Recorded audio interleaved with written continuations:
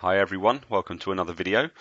Um, today we're going to have a look at Autodesk Revit. We're going to strip it right back into a Revit architecture demonstration um, and hopefully this is going to be really useful to anyone that's new to Revit, anyone that's maybe looking at subscribing to Revit, moving from AutoCAD or transitioning from another 2D application or indeed another 3D application.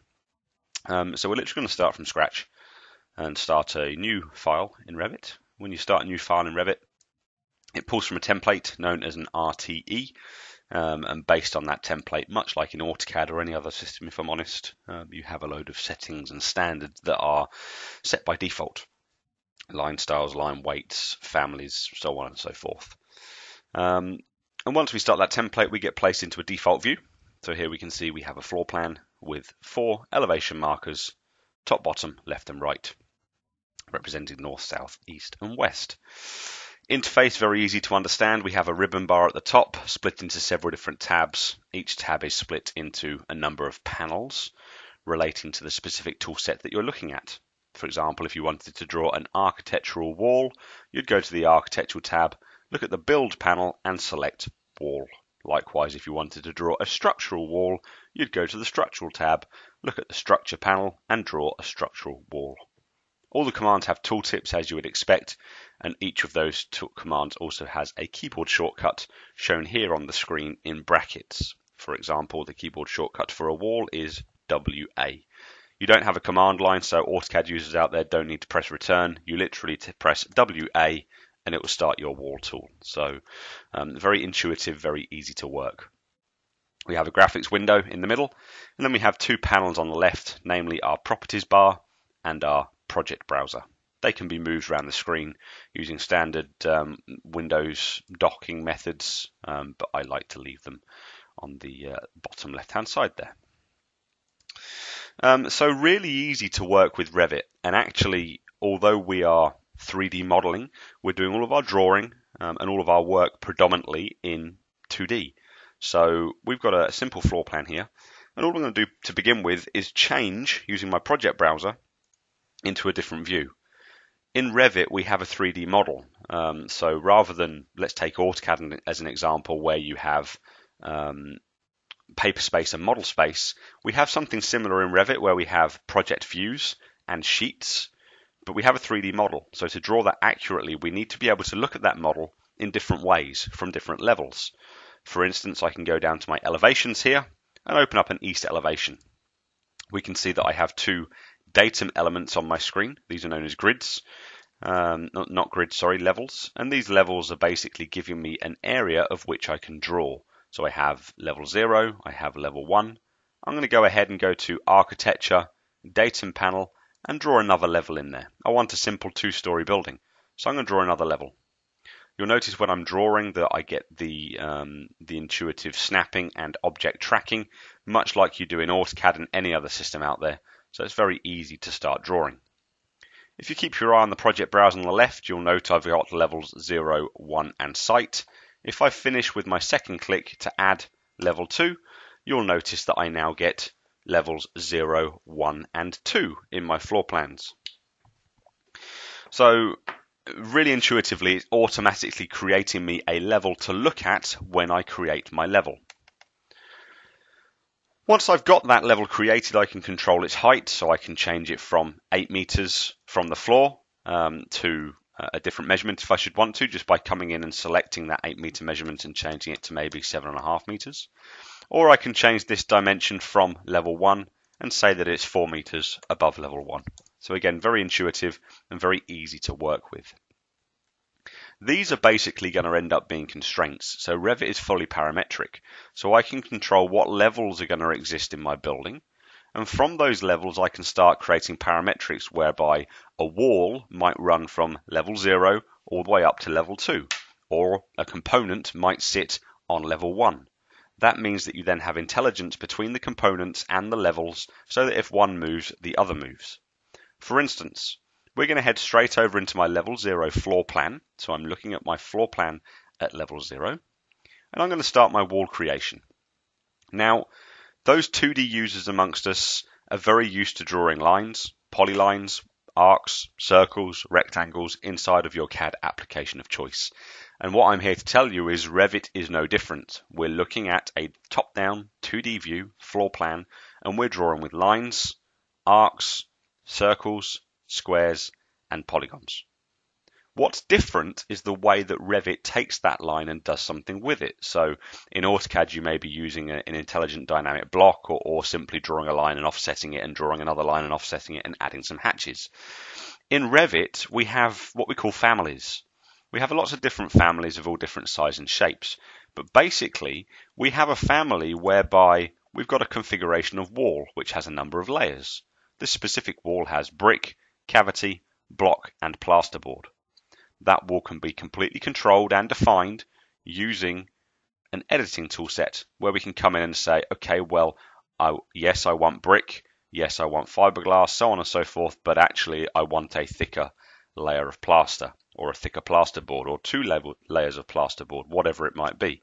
And we can come in here and make changes to the plan of that particular wall or to the section of that particular wall to change um, any element of the build-up of that wall, whether it's adding a coping stone to the top of the wall, adding some detail to the base, cutting into the wall, adding sweat detail around the wall. So we have a lot of flexibility. All I'm going to do for this example today is choose a standard brick wall, and then I'm going to look at my options bar just underneath my ribbon. I'm going to draw my wall unconnected at 8 meters. I'm actually going to change that and say I want to draw specifically to level 2. I'm drawing using the center line of the wall and I want to chain. I'm not drawing with an offset. I don't want to add a radius to the corners. I then simply start drawing left to right, just like you would inside of AutoCAD or similar. I'm going to draw from here, across. I'm not being overly accurate for the purpose of today. I'm going to draw something that looks a little bit like a, a H shape for this, uh, this modern house that I'm going to be drawing in this example. Um, we'll come back and add some dimensions shortly, but I'm not overly fussed about the size or shape for the purpose of what we're doing today. But what you will notice is when I'm drawing, Revit is instantly giving me feedback, it's giving me intuitive dimensions which I can chop and change in the exact same way that you would inside of AutoCAD. So once I've got these walls, let's just center them up a little bit inside my elevations. Once I've got these walls, I can see that although I've basically been drawing lines, Revit has come along and it's added all of this detail and all of these intelligent joins to make me, for all intents and purposes, a wall rather than a line. If I go ahead and look at my elevation that I had open a second ago by using these tabs on the top, it keeps all of your recently opened windows open. I can see that I have this wall. Let's change this to shaded and fine. And I can see that this wall is spanning from level 0, where I was drawing it, up to level 2, which is where I added the constraint. If level 2 moves, as you would expect, the walls move with the level. So it's very easy to come in and start configuring your walls and your components to sit where you want them to sit and work the way that you want them to work. If you didn't want them to sit on that specific level, you could change them to be unconnected and give them an unconnected height of whatever it is that you want to give them. Okay, it really doesn't matter. It's very flexible and absolutely in the background, although we are working in 2D and we're doing all of our drawing in 2D, Revit is going ahead and it's drawing these 3D walls and these 3D elements for us in the background. So we're not actually drawing actively in 3D. We're drawing in 2D and Revit's doing the 3D for us. Let's head back to the floor plan. And with that floor plan now, we're going to say that we want to draw a floor. So we want to add a slab to the ground floor. So I select my floor tool and just like with my wall, I have a, a type selector where I can come in and choose a different type of floor. Much like with the walls, we could come in and edit that build up if we want to. So we can change the sectional build up of that floor if we need to. Again, I'm not going to for the purpose of today. We don't need to. So all I'm going to do is say, actually this time, I don't want to draw lines, arcs and circles. I want to reference geometry that already exists. Now this is interesting because I could, can either reference existing walls, which is what we're going to do in this example, or I can choose to pick lines that exist in the drawing. Guess what? That means that we can import or more reference and link an AutoCAD DWG or another 2D D, uh, CAD format into Revit, pick the 2D lines from AutoCAD and get them to be turned into intelligent parametric Revit walls, which is really, really beneficial. In this instance, we're going to choose pick walls. And I'm going to go around and pick all of the external walls making up the ground floor. You'll notice that Revit is automatically extending my floor, the pink line, the boundary of the floor, which is being represented by that pink line, to the core of my wall. I could flip that using these arrows if I wanted to, to put it under the plasterboard or under the finish face. But in this particular instance, yes, I want that to be within that ground floor, or within that wall, sorry. If I go ahead and press the tick, Revit has a level of intelligence. It comes in and it puts that information on there and it builds that wall, uh, that floor. If I go and have a look in my 3D view, we can see that alongside my walls, I now have a floor, which looks like this. Let's go back to our floor plan and let's go ahead and add a ceiling. I'm not too fussed about the internal partitions yet. So let's come down to my projected ceiling plans or reflected ceiling plans for level zero. And I want one continuous big open plan space here. Would typically need lots of structure and some steel in there. I'm not worried about that today. I'm just looking at the architectural design. So let's go ahead and add a ceiling. I want a plain plaster ceiling and I want that to be maybe just over three meters off the floor. And then I'm going to go ahead and click inside this big open space. Revit will go in and it'll automatically add a ceiling, which again we can confirm if we go and look in 3D. We now have a floor, a wall, and a ceiling. If we go back to our ground floor once more, we're now going to add some detail. So I want a couple of interior rooms and I want some detail to the front of this, some windows, some doors, so on and so forth. So let's go back to our wall tool. Let's go ahead and pick up our um, one of our default families for a 75 stud partition wall. And in here, again, I'm just going to draw lines, arcs, and circles. The exact same process as you would do inside of the likes of AutoCAD or Bentley or whatever it else it might do. But you guessed it, rather than drawing a line, an arc, or a circle, Revit is going ahead and it's actively adding in partition walls for me. If I go ahead and change my view to a fine level of detail down the bottom, Revit will go in and it'll actually show me the individual layers and levels of the wall. So again, it's very intuitive and it's doing what we would expect it to be able to do. So we have those internal walls based here. Let's go and place some components. I don't actually want to add any windows in here. I want to use um, curtain walling, so I have some big um, nice full length windows, but I do want to add some doors. So I'm going to go to my door tool and rather than using some of the out of the box families that are loaded in this template by default, I'm going to come up here and say that I want to load a family from my default library. Revit comes with a, a fairly extensive library. It's not exhaustive, but it comes with a fairly extensive library of components, doors, windows, plumbing fixtures and fittings, so on and so forth. But I'm just going to come in here and say that I want to have an internal single door and just pick one from this list that I like the look of. I'm going to go with doors int single 6 and open that up. Now that family has three different types, 810 width, 910 width and 1010 width. I'm going to place some of each, you'll see why later, but I'm going to go with an 810 width and place it in the center of this wall. You'll notice that Revit's been very intuitive for me. It's actually giving me really nice snap points. The closer you zoom in, those snap points get smaller and smaller. The further away you zoom out, those snap points get bigger and bigger. It makes it very easy to get things like the center of a wall or the center of a component, whatever it might be. So I'm going to place this door here, and then I'm going to go ahead and make a slightly bigger door, the 1010, and I'm going to place it just here. I'm going to cancel out of there a couple of times and choose to add a new door, loading in a family, but this time I'm going to go to my external doors and go ahead and choose one of the external doors inside of Revit's default families. This one will do for this example. Let's open it up and let's choose to place him on this wall here. Again, we're going to try and eyeball it roughly in the center, which is very easy to do with Revit's functionality. So I've got some doors on there. That's all I want at the moment on the ground floor, but I do want some detail on here and on here. Now Revit is very sensible and quite intelligent with the way that it works. So I want to draw a curtain wall along here within the brickwork and along here. If I accidentally make a mistake like drawing a wall, choosing my empty curtain wall and just going ahead and drawing roughly, just eyeballing it again for the purpose of today in there, Revit will give me a prompt. Revit will come up and say, oh, hang on, you've done something which I don't think is correct. It's highlighting the problem in orange on the screen and it's giving me a warning on the bottom right hand side corner. In this instance, it's telling me that I've drawn two walls over the top of each other. So I have a bad design, an invalid design.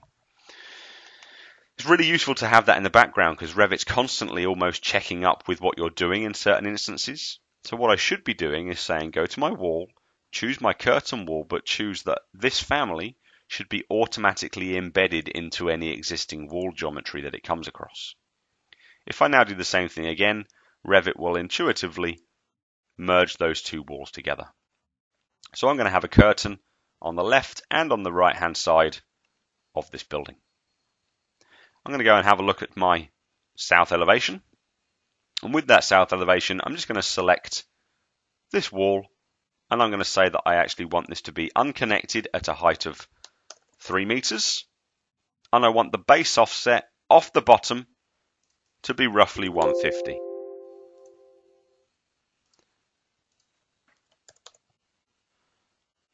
So I'm setting it just off the bottom there and it's three meters in height. I can do the same thing with this one, or I can use AutoCAD functionality essentially and say that I want to modify, match type, select my source, and select what I want to match. Instinctively, I could have also select both at the same time and made the property changes on the left. Alongside that, I'm just going to say that I want to add in some grid lines in there. So let's get an idea of what this is going to look like. Let's go to architecture. Let's go to curtain grid. And I want to split these curtains up into four panels on each. I want those panels to be equal size. So I'm going to come in and say add a dimension. We typically always use a aligned dimension unless otherwise specified inside of Revit. Obviously, we can't use an aligned dimension for a diameter or an angle. So we use aligned, and I'm going to do a running left to right dimension of this curtain wall. And place that down at the bottom. Revit has parametrics and it's intelligent enough to say, do you know what, make all of those dimensions equal. Revit will go ahead and make all of those dimensions equal on the left hand side. I'm going to go and do the same thing on the right hand side now and make all of those panels equal in size. I'm just going to cancel out of that and then go back into my level zero floor plan. Let's move up to the first floor. And the way I want this building to work is actually having um, not quite full height on the left, just up to the first floor in the middle, and then a full height elevation on the right hand side. So I want some quite uh, some nice aesthetics to the outside of the building. So I kind of need to think about this when I go up to the first floor and start modeling because I'll need a separate slab here and a separate slab here, no slab in the middle and a roof, so on and so forth. So I just need to think a little bit about how I'm going to set out the building as I'm going through um, and modeling it in such a way that it makes my life easier moving forward. So the first thing I'm going to do is go up to my first floor and I'm going to put on two slabs. You'll notice that when I go to my first floor, let's just close my hidden windows just to close some of these that I'm not using at the moment to keep Revit running nice and quickly. I can see that, yes, I see my external walls, but I can see a kind of grey scale or grey style um, version of certain elements on the floor. The way that Revit looks at its views is it has what we call a view range, and it also has an underlay. The view range controls where's the top of the level and where's the cut plane. For example, am I going to look at something in a section or am I going to look at something as if I'm looking at it from the top down? That's what affects the top and the cut plane. I can then have a depth of level as well um, as an underlay to control whether or not I want to see geometry either above or below the current level. I don't want it in this particular example, so I'm going to turn off my underlay range and say that I have no base level, just to see this particular geometry in the model. Let's go ahead and add a floor. Let's choose, rather than a ground floor, let's go for a timber floor on the first floor. And I'm going to select these walls. I only want this side, so the first thing I'm going to do is make sure I use trim and extend to extend these two lines to make a corner. The next thing I'm going to do is make sure that this is going to underneath of my plasterboard because that's how this particular wall would work. I'm confirming that I'm on level 1, I'm confirming that my geometry that I've drawn is what I'm after, and I press the tick. Revit now gives me some input because it has intelligence. It's saying, okay, well, hang on, you've got a floor that's basically going into, or for more of a better word, clashing with the plasterboard layer on the wall. Would you like to cut the wall with the floor? Well, yes, I would, because I want to make sure that any material information I've got in here or any quantity information that I might get out of here later comes through correctly. So if I just strike a quick section up here and have a look at that section for you, you'll notice that we now have a wall which has had its, um, its shape or its profile modified by the floor. Okay, so Revit's doing all of that for you automatically so long as you accept um, the relevant prompts that come up. Let's do the same thing on the left hand side. Let's add a first floor, no offset, using timber, and we're going to go around selecting the outside walls, and then choosing to create an enclosed shape. Once you've got the shape that you're happy with, we confirm that everything is as it should be, and we press the tick. I now have floors on the left and right of the model and nothing in the middle. Let's go and have a little look in 3D, and we can see that this model is coming along. I'm going to select these two central walls they're only ever going to go up to sort of level one. So I'm going to drop them down to level one to get an idea of what that's going to look like. I'm going to add in that roof. So let's go across to level one floor plan. We can't see those walls at the moment because they're cut off at level one, remember, so they're underneath where I'm currently looking. That's not a problem because I can start tiling windows and saying, okay, well, to make my life easier, let's just select those and whilst they're going up to level one, we could just give them a bit of an offset, maybe 1500 meters, uh, millimeters or so, just to be able to see them in this view so that I can reference them and use them. Let's close down that 3D view. And then just make sure that these walls are cut in the relevant way. So um, this wall needs to finish uh, at this point basically rather than going into here. So I'm just going to pull this wall away. I'm going to make sure I use uh, trim and extend just to get these walls to the correct place, like so. Let's go ahead and add an architectural roof using a footprint. I want an overhang of about 150 millimeters, and I'm going to have a slope on this side and this side of the roof. I'm now going to turn off slopes and I'm going to choose to either pick an existing line or draw a line. Let's choose pick line and pick the finish face of this wall and also the finish face of this wall. I can then use trim and extend to corner to tidy up this corner, this corner, and these corners here. Now because I've defined a slope here and here, I'm going to have two gable ends either side that are going to be flush with these walls and these walls. Let's go ahead and press the tick. Let's go and have a look in our default 3D view and see how Revit has created those components. The roof's gone in there.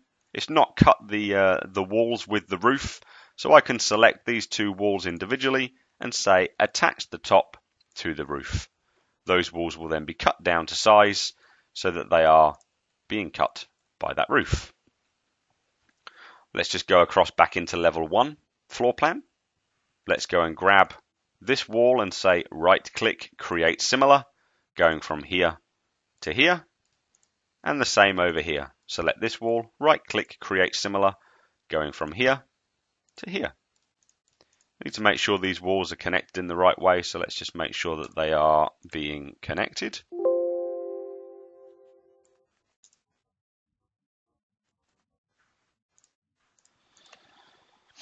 So let's go to our modify tool and grab and extend.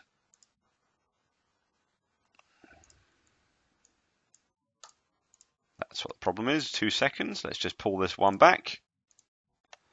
Picking just that point there. And then let's drag these walls together like so.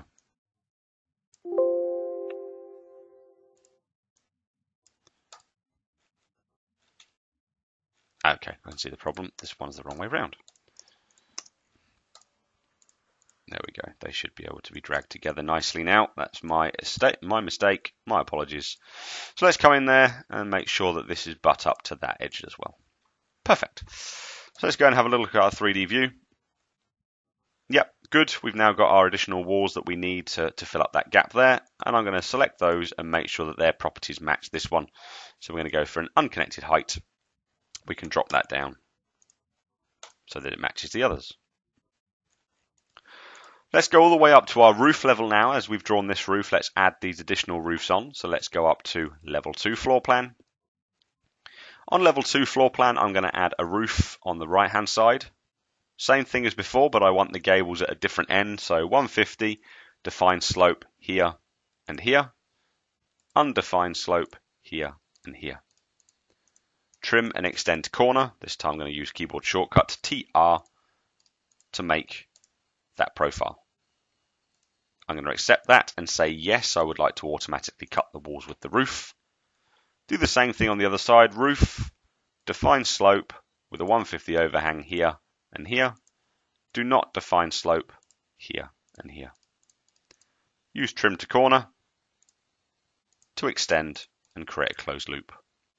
This one on the left I want slightly lower than the right, so I'm going to use a base offset here of maybe minus 1500.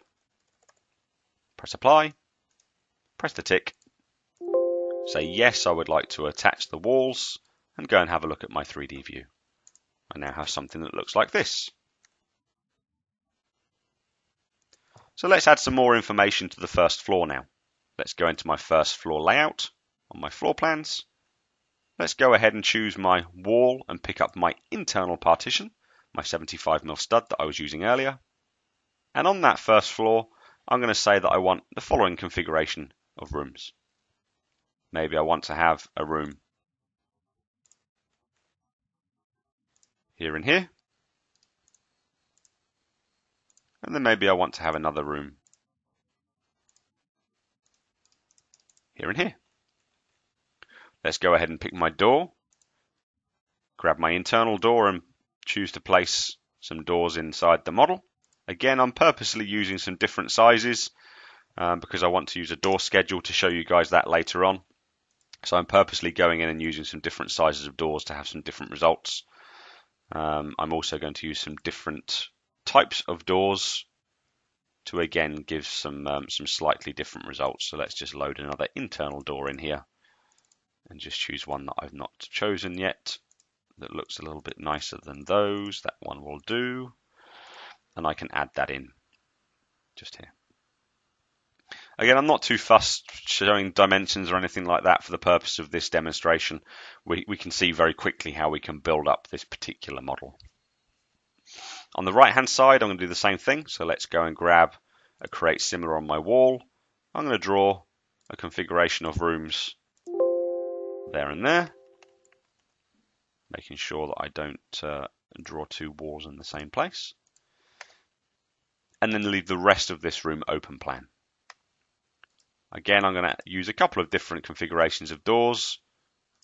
Let's use that one, just here. And let's use that one, just here. I'm just going to tweak this wall out to the right a little bit and then reposition this one so it's a little bit uh, more spacious. Okay, Quite happy with that. I'm going to go to my wall tool, go ahead and grab my empty curtain wall once again and draw a curtain wall on the first floor. I'm going to go and take a look at my south elevation. Grab this curtain wall and this time grip edit it to come down a little bit. I'm going to use my align tool, which is either modify and align or AL on the keyboard to align the curtain top and bottom. And I'm also going to say that I want to draw in a new curtain grid here, here, and here. And I want to align that curtain grid with the one at the bottom and lock it into position. By pressing the padlock, this creates a parametric constraint to make sure that if this curtain grid moves, the other curtain grid moves with it. Just cancel that back. On top of that, maybe I also want to change the profile of the top one. I want it to match the curvature of this uh, this roof here. So I'm going to grab this particular curtain wall, edit its profile. I'm going to grab an offset tool, choose to offset by about a meter, and then say pick existing lines and pick the roof. Make sure my offset was actually turned on when I picked the roof, always helps. So offset by about a meter, pick the roof and offset inwards there and there. I'm then going to use my good old trim or extend to corner to trim the relevant lines on the sides, delete the top one to create this closed loop. I'm going to accept that. Revit will automatically extend these profiles for me. I then want a horizontal grid there, so curtain grid, and then I can come in and add a horizontal one wherever I want one let's say about there, and then maybe we'll just move that up and eyeball it for the purposes of this. Doesn't really matter. We can have the ability to do whatever it is that we want to do. Maybe we'll add a dimension and control that that top beam there is at 3 meters to match the panel size at the bottom. Let's go back to our 3D view starting to take shape now. We've got a few instances where our walls haven't been uh, cut correctly. I didn't put a ceiling on in this um, uh, this upper level, so I'm not too fussed about this for the purpose of today. I'll just use the uh, the underside of the roof there. So I'm going to come in and select these walls. You notice I can select through the glass, no problems at all. And I'm going to attach those walls to the underside of the roof. And I'm going to do the same thing on this side. To make my life a little bit easier, maybe I'll put on a 3D section box by selecting the view properties, turning on a section box, selecting that section box and bringing it backwards so that I can see in and bringing it in from the side. I'm now going to go ahead and select the relevant walls in the build-up that we've done previously, holding down Control to multi-select. Once we've got all of them, attach them to the roof. Turn off the section box by selecting nothing and unticking section box. Let's go back to the level 0 floor plan, make a couple of additional changes here. We're just going to add one more curtain wall, so select this one, right click, create similar, and we'll do one more just here.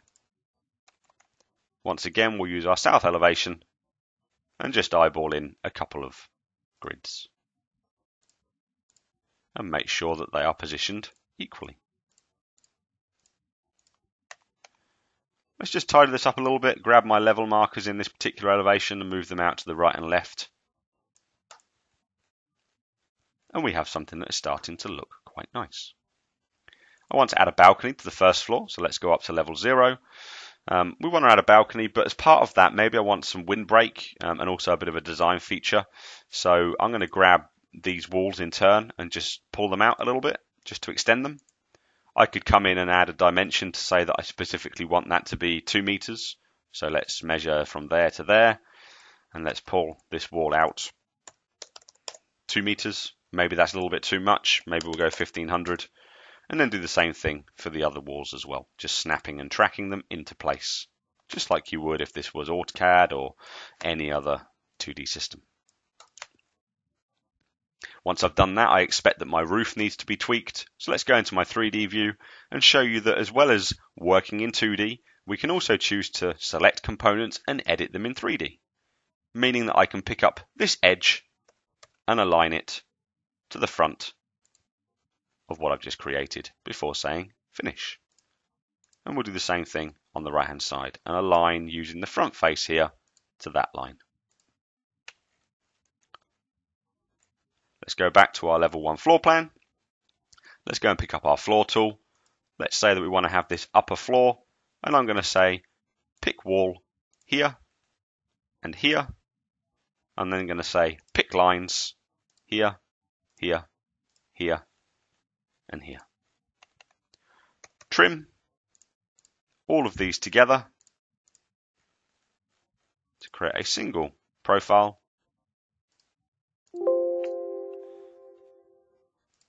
Need to make sure you have one closed loop, not two. If you've got two, they need to be within each other so they create a single element. Join them up at the front. Maybe just make sure that they are aligned to wherever it is that you want them on the geometry, so on and so forth.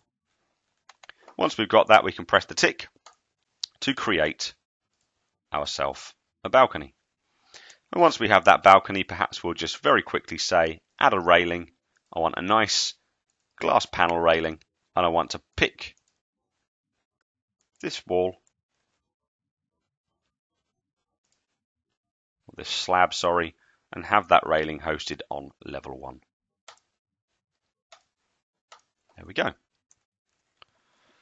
So it's very quick to start getting results inside of Revit. We can really quickly start putting geometry together um, and really intelligently building a model up. It's fast. It doesn't matter whether you're working in 3D, it doesn't matter whether you're working in 2D. But typically speaking, as you've seen, we do a lot of our drawing in 2D. Um, we're drawing in, in plan views, we're drawing in sections, so on and so forth. So it's uh, it becomes very natural to work in and very easy to work with little things that just compared to CAD are so ridiculously quick. Like when we added these doors, it's automatically trimming, extending, filling, changing hatches, um, cutting holes in objects, cutting openings. It's doing what we would expect it to do extremely quickly. Obviously, I'm not going to that much of a level of detail at the moment in this particular model, but you can see how fast it is to model, to add dimensions, to change dimensions. Doesn't matter if you're doing something quickly and conceptual like we are here, or if we're doing something a little bit more accurate with a lot of dimensions as you guys would typically be doing in anger. Very quick to use, very easy to use, and actually good fun as well at the same time. So once we've got this, I'm just going to save this for a second just on my desktop. I'm just going to call it uh, project one for the purpose of this at the moment and save that down. So we've got this design. Um, maybe we'll just add a staircase in and, uh, and show you how easy it is to cut an opening. So let's go down to level zero.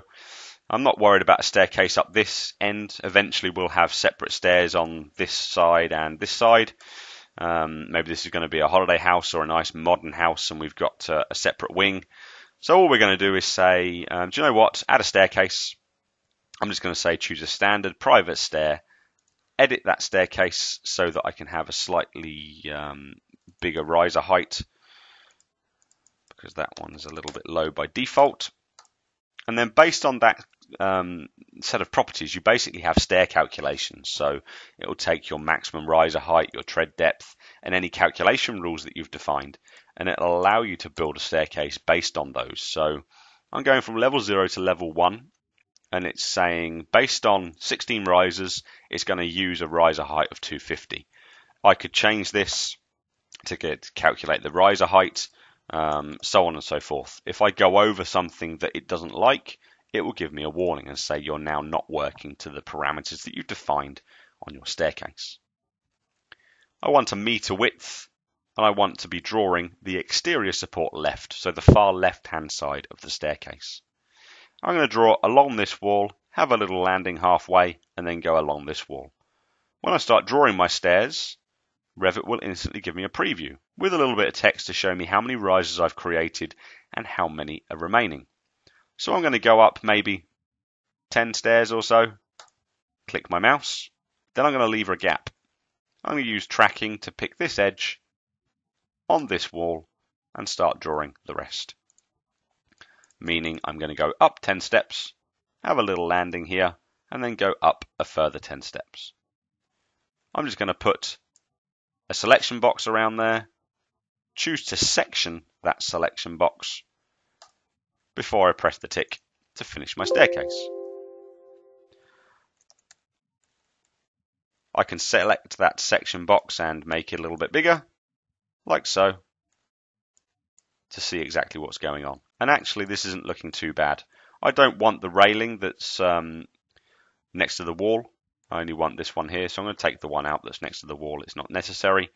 And then I can come in and start cutting the ceiling and cutting the floor so that it matches this staircase. So let's grab the floor first of all, edit its boundary, choose existing lines. Maybe I'll pick up this part of the staircase and this part of the staircase. Come pick up the very bottom just here. And by using those lines, I can ensure that I have an opening in the exact positions that I need around the staircase.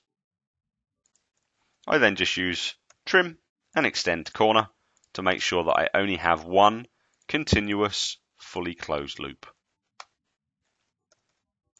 If you didn't, Revit would incidentally give you a warning. Once I've done that with my floor, I'm going to grab the ceiling and do the same thing, edit the boundary, picking, this time, the lines that we've already created on the floor. Before grabbing trim and extend to corner,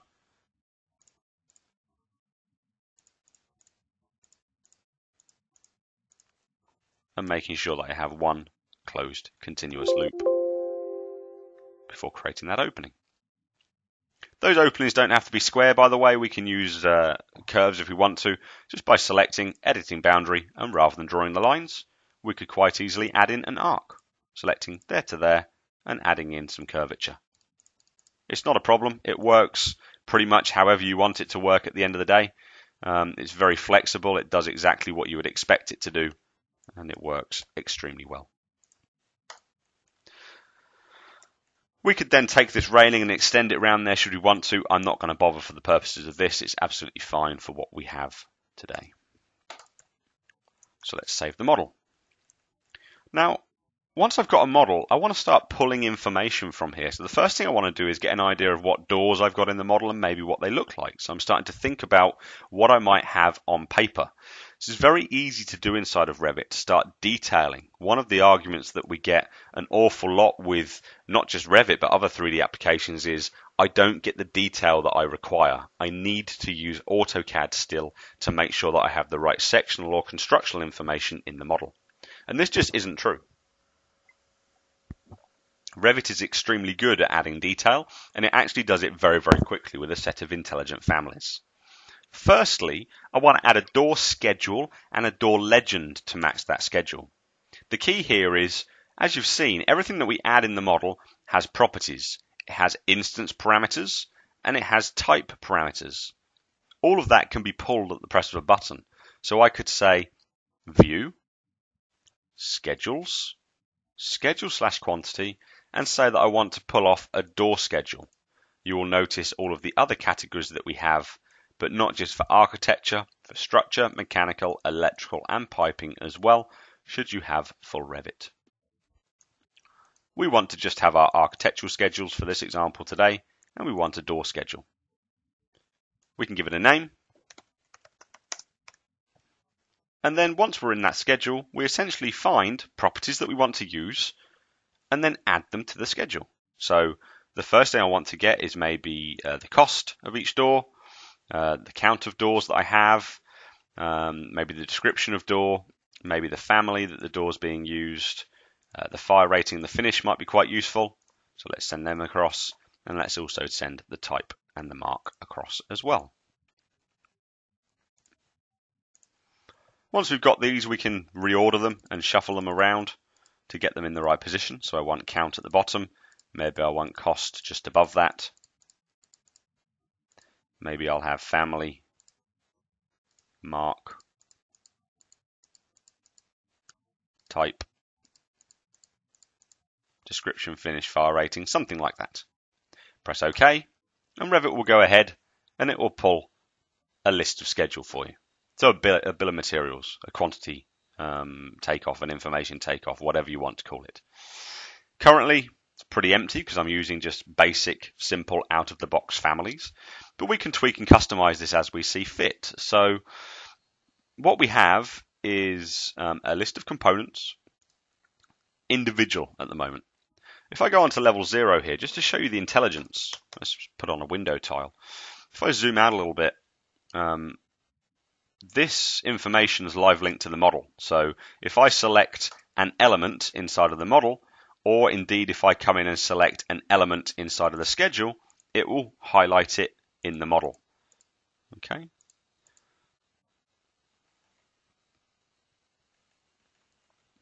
These are on the floor above, obviously, but it will go through and it will highlight the individual elements that we have in the model. So we have a live link between the information on the right-hand side in the schedule and the information inside of the model. So, for example, we could come in and start tweaking and changing the properties in the schedule. Nice way in which we can come in and very quickly start filling up property information. I'm just going to open the schedule for a second. With that schedule open, I'm going to edit it and say that I want to sort them by first their family, then their type, and I do not want to itemize every instance. I want to take out the mark field as I don't particularly want that for this example. So let's take the mark and remove it. And then let's come in and say, okay, perfect. I have all of these different counts of doors. I can start adding descriptions. So I'm going to just grab, copy paste in here, but change it to external.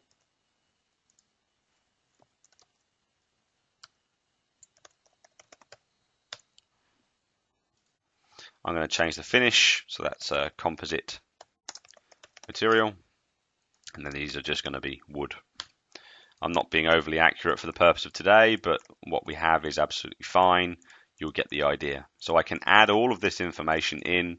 I can add fire ratings, directly through the schedule. Okay.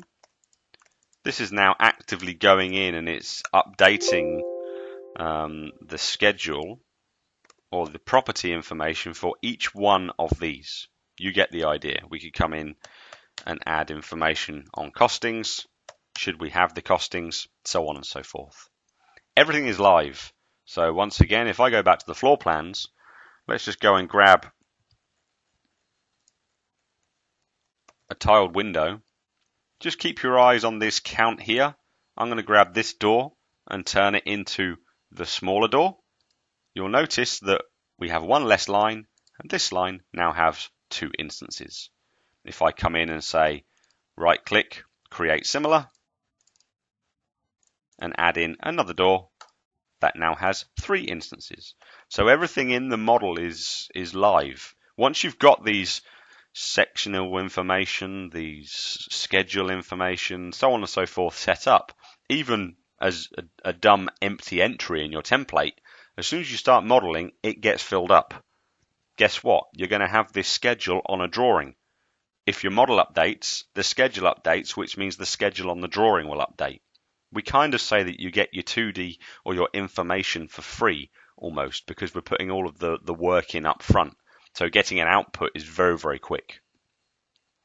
Against this door schedule, maybe I also want a door legend. So I'm going to say view, legends, legend view, and I'm going to call it Rob's door legend. I'm going to have that at 1 to 50. Let's just close down this one and get a full screen on my legend view and say annotate, component, legend component. I get a list of every single component loaded into my model.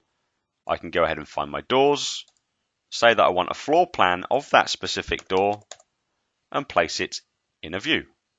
I then want to see a front elevation of that door and place it in a view.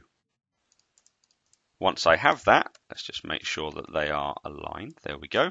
Once I have that, I can maybe add a fine level of detail, maybe a shaded look and feel maybe add some detail lines to put a rectangle around the outside. Maybe that rectangle is going to have a couple of areas for some text. So maybe I want uh, the description of the door down here, maybe. Maybe I want it to say set elevation and, and floor plan, whatever it might be. So I could just add in some text. Maybe I'll add some text just here that says floor plan. Maybe I'll copy that text downwards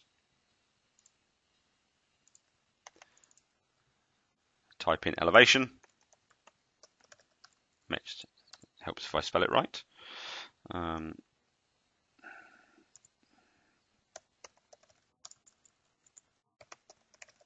elevation view. And then at the bottom, we might have a description for the door as well.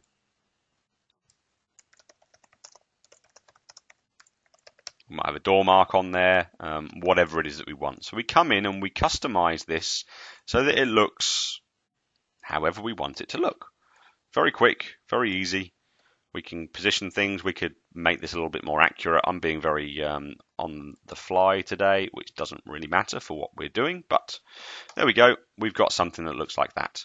I can then grab that, copy it multiple times for every type of door that we want to show in our door schedule, and then simply change the component that it's looking at. So I want single door, external single door, and internal single six.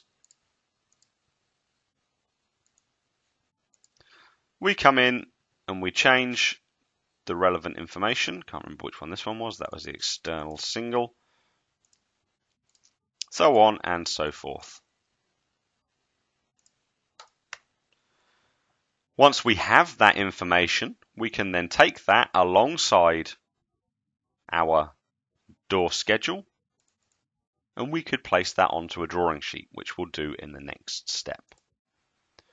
So what I want to do is just jump ahead a little bit. So I'm just going to save this model. It's going to close it down and I'm going to open a more developed version of the same model. So let's go to open. Let's go to my desktop. Let's pick up um, um, this one here and open it up.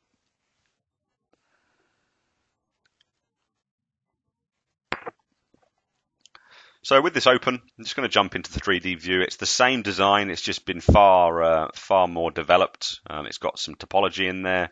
It's got a pool house. Um, it's got some RPC elements. It has some components on the inside.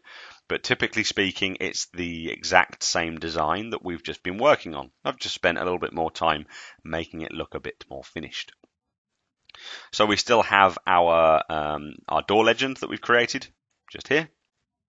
We still have our door schedule that we've created just here. Everything's just been a little bit more finished. So we've got better components, we've got better properties, um, and we've got more of a design rather than a conceptual design. What I want to do is um, is just develop some detail, maybe around one of the walls. Um, I'll choose this one over here just because we've been looking at this now for a fair old while. So we'll come and uh, look at my pool room over here um, and just do a, a, bit of a detail view here because maybe this is the biggest argument, as I say, against Revit is um, the detail. So let's try and um, attack that uh, that myth now and make this um, look the way that you would want it to look on the drawing. So I'm going to choose my uh, my section and I'm going to choose to section this piece of wall. Just note that these are currently blank. So this section view is not placed on a sheet and it does not have a sheet view related to it. Let's double click the arrowhead to go into that particular section. Let's just tidy these up a little bit so I can actually see what I'm doing, moving them to the left and the right. I want a detail of sort of this area here so I can see the build-up of the wall um, and what's going on around the roof. So let's go to view, let's go to call out and create a rectangle call out view around there like so. In this call out view, we want to drop to a fine level of detail. We want it to be on hidden line. And we want to show it at a much smaller scale. With that smaller scale, we can now grab this first floor level marker and bring that back in so that becomes part of our annotations for this view. So we've got this wall and I want to make this look like brickwork, this look like blockwork, this look like brickwork. I want to ensure that I've got the correct look and feel around the roof, some insulation and some wall ties. So let's come to annotate. Let's come to use our component tool that we used earlier and let's pick up a repeating detail component. You'll notice that we have brickwork section and blockwork section. Now all that is for your reference is we've got a single detail component such as a piece of mortar, and we've set that up to be repeating by saying basically repeat this component every X millimeters. That means that I can come in very quickly and say create some sectional brickwork and I can grab a starting point and start drawing.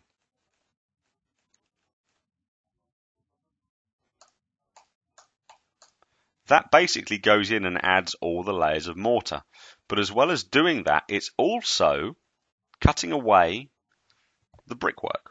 So if I just do an undo, you notice you have a consistent line. If I have a redo, that consistent line is now gone, making the drawing look like brickwork. This particular piece of mortar component has a wipeout behind it, um, a, um, a, masking region, meaning that there's just a, a, a transparent um, or an invisible border white fill which is hiding what's behind. Simple, but very, very effective. This detail has nothing to do with the wall as such, it's just lines, arcs, and circles, but we can still move it around and do whatever it is that we want to do to, to get it to look however we want them to look. So we have very effective um, ways of adding detail lines onto the bricks. Going to do the same thing for the block work, and I'm going to choose to align it with the mortar just there and bring that up to the roof level. I'm going to add some more brickwork on this side of the roof. Let's just turn thin lines on just so I can get that snap point and move that upwards like so. And we have something that's starting to already look very nice. Now alongside that, this roof is not correct. This um, um, weatherproofing strip at the top would wrap up here to make sure that we don't get any leaks in the corner. Uh, again, that's just a detail that you wouldn't have in the 3D model. The 3D model must always be um, an agreed um, detail level representation. Um, so it's never going to have as much detail as in the 2D. But that doesn't mean we can't make the 2D look the way that it's meant to. So cut profile, grab the relevant layer of the roof. Remember this roof is one object, but this is recognizing that we have these layers configured. So grab this one, I'm just going to draw an open profile. Um, I'm just going to eyeball it really. It doesn't really matter too much. Let's just go up past that uh, piece of mortar and then come back down. It's important that you leave the profile open and this arrow points towards the profile. Press the tick and that will wrap that profile around there. Let's turn off thin lines. I'm just going to drop to 1 to 5 uh, and just see what we've got so far. Looking pretty good.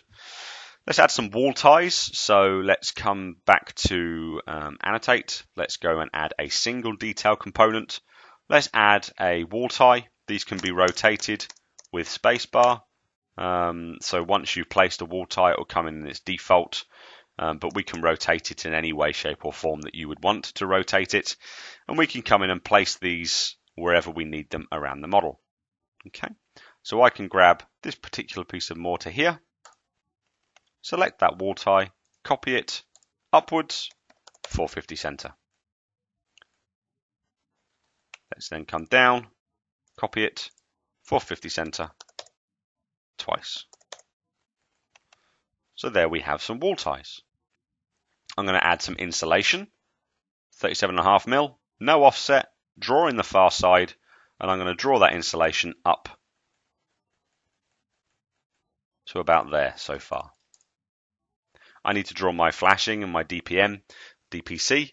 I use detail lines just as you would in AutoCAD. We come into AutoCAD and we would draw lines, arcs, and circles. So all we're doing in Revit is we're adding lines, arcs, and circles on a specific line style to add in my DPC and my DPM. Um, these will be set to have specific weights, okay? So specific weights, specific colors. These are almost Revit's version of layers, if you like. So I'm going to grab my DPM and I'm going to choose to draw up here a little bit, along into the brickwork, up into the mortar. Typically I've placed the wall tie in a really awkward place, which is a little bit annoying, but doesn't matter too much. I'm just going to go up to the next one. Doesn't really matter for the purpose of today. Okay. Once I've got that, I might just move that wall tie up a little bit not ideal, not particularly accurate, but it will allow me to redraw this the way that I want it. So let's just create similar and come in. There we go. Up one line and across. Let's do the same thing. So another detail line, this time for my DPC. I'm going to add that along here, like so. Okay, grab my insulation, drag that beyond. But this time I now want to manually cut that back. This would stop at this point, so it wouldn't come past our DPM and our flashing here. So I'm going to say add a region. That's going to use invisible lines, so I cannot see um, the outside of them. And I'm just going to draw um, around that profile. Once I've got that, I'm going to press the tick and just show you that you basically get, let's bring that to the front, this wipeout. I'm then going to grab the relevant components and just send them to front to back to get the order correct. And then I'm going to come in and just um, edit the boundary of here and just make sure that it's going over the relevant pieces of geometry but not going over the other relevant pieces of geometry. So it's only cutting out the insulation and not the brickwork or the blockwork, so on and so forth. So it's very easy and very quick to start detailing and hopefully you're seeing that from what you've got in front of you now.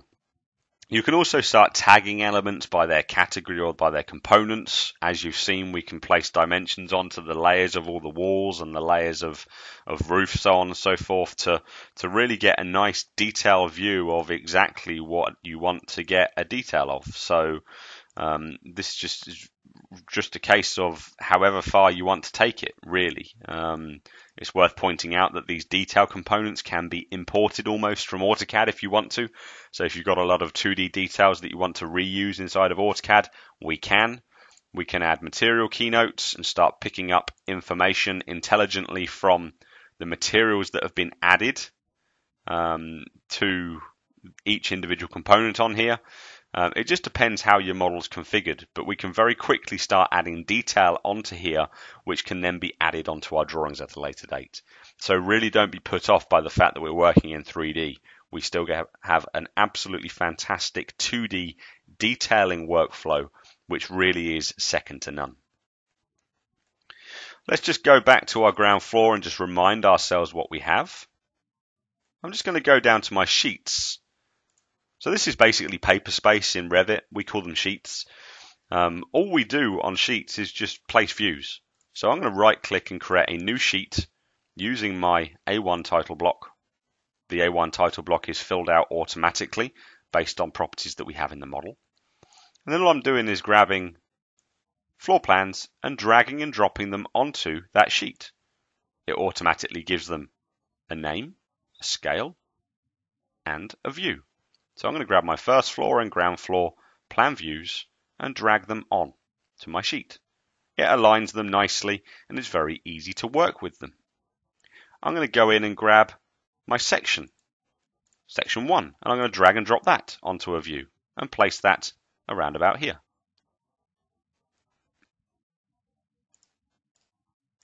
Based on placing section 1, it's now got view 3 section one callout one won't fit on here because of the scale. It's um, it's far too big. But if I just place that to the side, we've got section four. I'm just going to go out to um, go into that callout, and I'm going to try and make it fit. It's going to look a little bit uh, blocky, but I just want to show you that what we're getting on that um,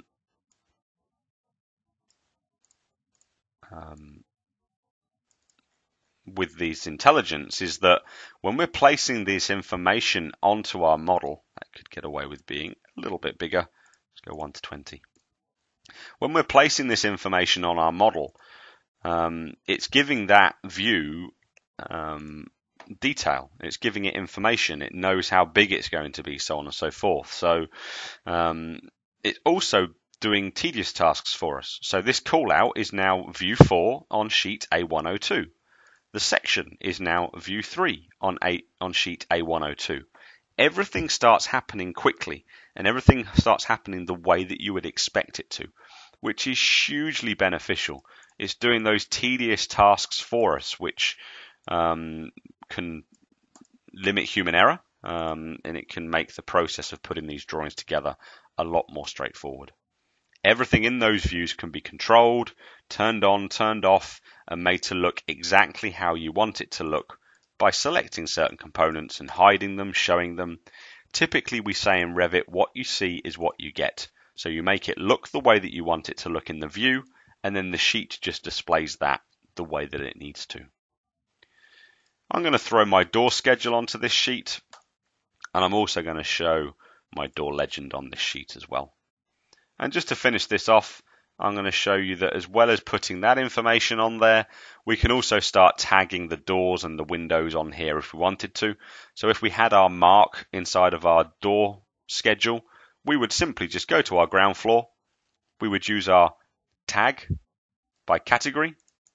We would say that we want to tag, oops, start that again, tag by category, select a door, just need to load in a door tag for this particular example. So let's go to my annotations, tags, and go and find a, uh, a door tag. Mark and fire rating will work perfectly. And let's come in and start tagging a couple of these doors. Those tags can be customized to show whatever it is that you want, but naturally, as soon as you've added them, they're going to appear on your floor plan. Okay. Naturally, if you change the type of door, everything will update on your floor plan, everything will update on your sheet, everything will update on your table, so on and so forth. Everything becomes interlinked. So once you've got these things set up, it's very quick to make changes. You change something in one place and it will update every, everywhere else, therefore giving you the benefit of um, of saving a lot of time potentially. So let's just finish this off by having a little tour of what we've done. Um, whilst I have gone in and added a little bit more detail um, onto this um, model with some topography, um, some building pads, some RCP elements, um, and this pool room over here. Pretty much we have the same design. I've just gone in and added in some um, some additional components and some materials or changed some of the materials. Just to finish this off, we're going to use uh, Enscape just to have a little walk around, just to show you the kind of outputs um, in 3D that you can get from this very quickly. So let's um, go ahead and hit start to launch Enscape. This will just take a couple of seconds to, to load and launch, and then I can have a little look around this model in a 3D environment. And we'll just take a couple of minutes to do this. I'm not here to demonstrate uh, Enscape today. We have other videos on our channel um, which you can watch should you want to see an Enscape demo. And maybe I'll add another one um, with this specific model um, later on. So let's just make sure that we don't fall through the floor and uh, walk up and have a look at the front of our building. So it looks pretty good, um, very aesthetically pleasing, whether it's um, during the day or um, at night time. So I can change the time of day here to take a look at um, how the light affects my design, what happens when um, the artificial lights come on in the model, and I can pretty much just have a little look and, and feel around the model and, and, see if I'm happy with the way that uh, that it's um, that it's outputting. Um, and what you can see is you get a very good result using tools like Enscape. Uh, Revit Live also gives you pretty good results um, directly um, and Revit's indirect rendering as well is, is pretty good. Um, although I, I favor Enscape because it's so um, so quick to be able to get results.